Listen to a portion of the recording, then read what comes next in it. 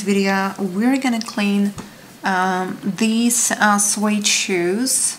And they're not super dirty um, but they've been used and I want them to look brand new. So we're gonna use a few different methods. Magic eraser or some kind of uh, other sponge. You will need a microfiber cloth and as you can see it's a little wet here. This part is dry, this part is damp. Brush.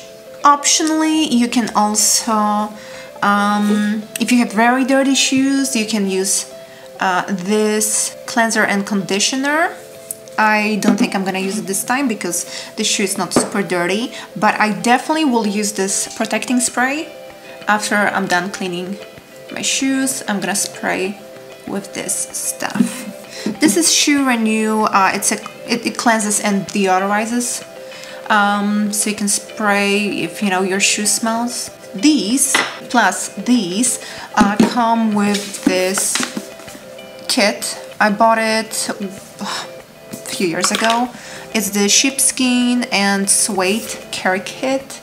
Uh, you know, you can use it for your Uggs or you can use it for other um, suede shoes.